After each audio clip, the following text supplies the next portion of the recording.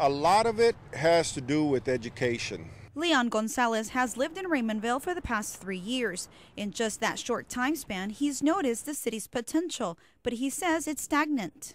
You've got a lot of kids here that have a really high IQ that are not being exploited for their intelligence and given the opportunities. Gonzalez says it's that lack of or push to achieve a higher education that has the city ranking amongst the highest in poverty levels in the nation, as stated by a recent Business Journal article. And it's not like if the government is not doing enough to try to get us educated, is that there's a lot of people that are not taking advantage of the the projects and, and the different avenues that they can get to get better educated to get a better job. Willacy County Judge John Gonzalez says having his hometown rank in the highest poverty rates is not something to boast about and agrees with Gonzalez that education needs to be at the forefront of tackling these issues. And we have a little over 50% dropout rate in our county. Aspects that we're looking at now is, uh, you know, with the technology building we have, we now have uh, TSTC and, and UT of Brownsville present in, in our county now.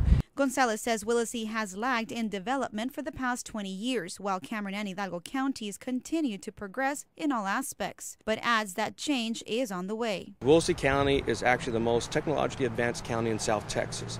You look at it and you don't see it. They're just finishing up putting in a, a, an intricate um, uh, infrastructure of fiber optics throughout the entire county.